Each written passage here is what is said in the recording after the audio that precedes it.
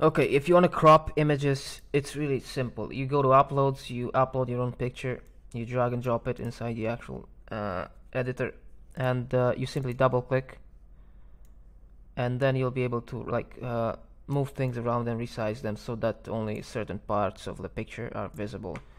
And if you hold shift, you also be able to uh, stretch the actual image. Uh, but I wouldn't probably do that because it just messes the whole picture so I don't think that's probably something you want.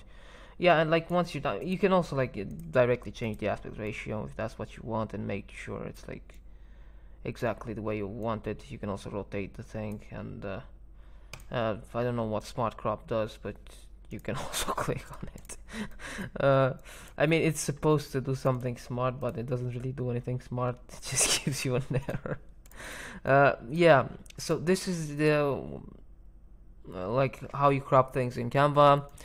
Uh, if you want to cut specific things uh, you go to edit photo uh, and you have an option to remove basically the background but you don't really have an option to remove like specific things.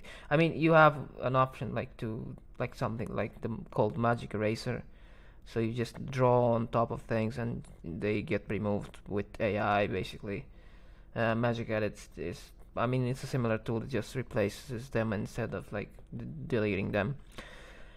Uh, okay but probably by the time you're watching this the magic uh, magic edit is probably also a pro feature like the two of them the background remover and the eraser. So uh, you probably won't be able to use it on a free plan so uh, yeah but that's th this is how you cut out and cut out cut out basically and crop uh, certain parts of an image in Canva. You just double click on the image and then you move it around within the actual shape. And you can do it with any shape you want. Let's say you have like a um, heart frame. It's the same exact way.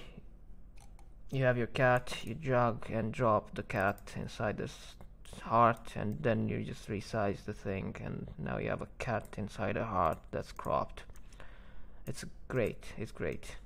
Uh, yeah so that's that's how you cut out things in Canva